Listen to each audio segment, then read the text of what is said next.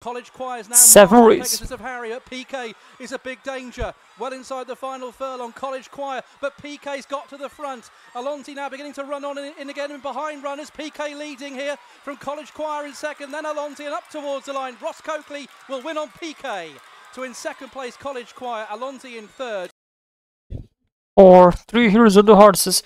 Number one, Pique OG18 first. Number three, College Chart, OG6 in second. Number two, Old 1 entered number 4, Old 13, 4th, 5 and 6. Thank you guys.